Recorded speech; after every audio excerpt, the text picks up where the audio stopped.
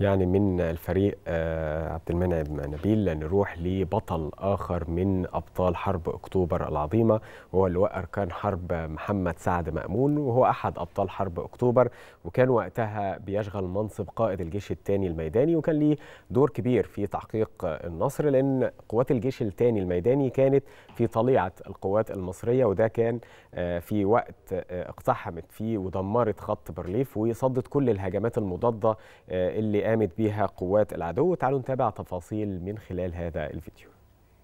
اللواء أركان حرب سعد مأمون قائد الجيش الثاني الميداني في حرب أكتوبر.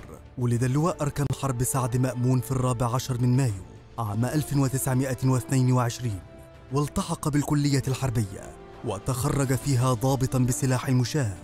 اشترك في حرب اليمن وحرب الاستنزاف وحرب أكتوبر عام 1973 وتدرج في المناصب القيادية بسلاح المشاة حتى وصل إلى قائد الجيش الثاني الميداني أكبر التشكيلات القتالية بالجيش المصري.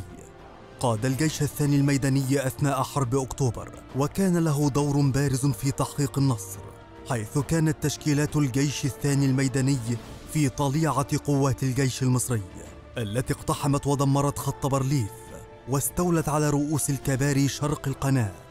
وصدت جميع الهجمات المضادة التي قامت بها قوات العدو. وبعد انتهاء الحرب وتحقيق النصر عين اللواء سعد مأمون محافظا للقاهرة من عام 1975 وحتى عام 1983 ثم وزيرا للحكم المحلي ورقي في عام 1981 إلى رتبة الفريق. وفي الثامن والعشرين من أكتوبر عام 2000 فاضت روح البطل إلى ربه تاركا خلفه تاريخا ثريا من البطولات والإنجازات.